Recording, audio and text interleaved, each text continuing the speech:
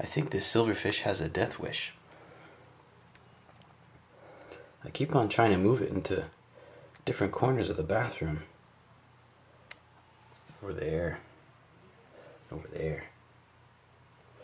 But it keeps coming out into the floor. High traffic areas. It's gonna end up getting stepped on. Not by me. I always look to make sure it's not there. I don't know enough about silverfish to know if it's looking for something. It's looking for dirt or water or insect carcasses. I don't know. I don't think silverfish eat other insects. I know house centipedes do.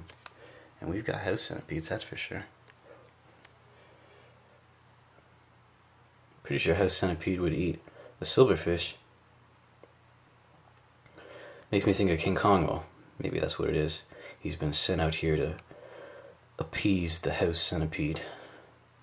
He's the sacrifice. If I were him, though, I'd run back into my silverfish sanctuary, which I think is underneath the toilet. I know that's where the pillbugs are.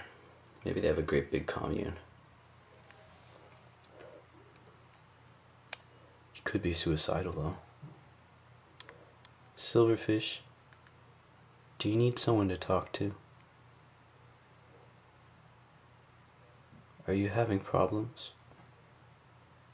At home?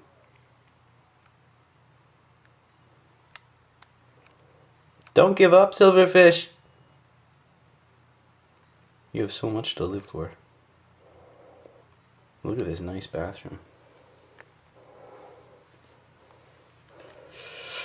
You're practically an Eden.